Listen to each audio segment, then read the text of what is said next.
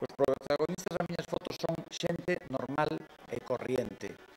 É a historia, o que veño a contar aquí é o uso contemporáneo da fotografía popular.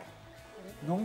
E toda esta xente popular que aparece aquí encaramándose as letras de Ámsterdam ou orgullosos de posar diante dos nenúfares de Monet ou diante da Fontana de Trevi, queren engadir ao seu, a súa imaxe o feito de ter estado ali.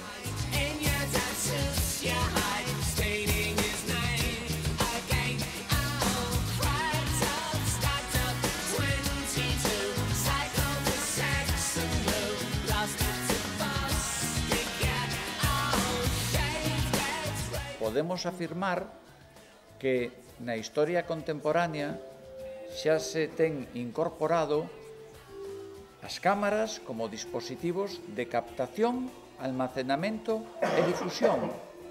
E isto é algo que de verdade non nos equivocamos e se pode afirmar no século 21, 22 se vai a falar deste momento da transición de séculos cando isto foi así, non?